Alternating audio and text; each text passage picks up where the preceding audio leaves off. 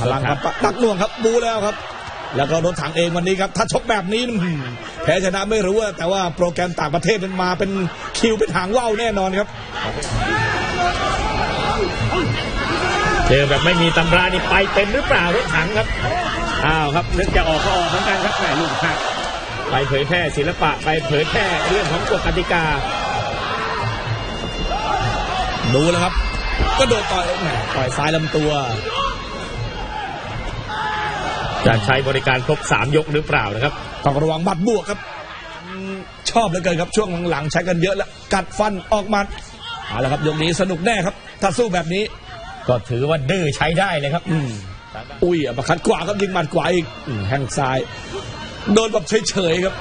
แต่รถถังนี่สไตล์แกอยู่แล้วนะครับดูคสรับไตล์อยู่แล้วครับโอ้โหดูครับ